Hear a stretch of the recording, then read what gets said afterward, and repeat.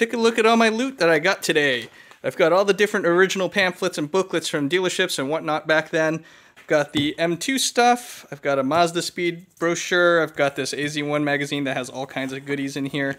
Driving pictures, designers, concepts, uh, pretty girls or something. And then I got these brochures, AZ1 price sheet, Suzuki Cara price sheet. I got the original brochures. This is probably the best one to have because it has the most information in one book. The optional goods are nice too. Uh, I got the Suzuki Cara books too, also with the accessories and whatnot.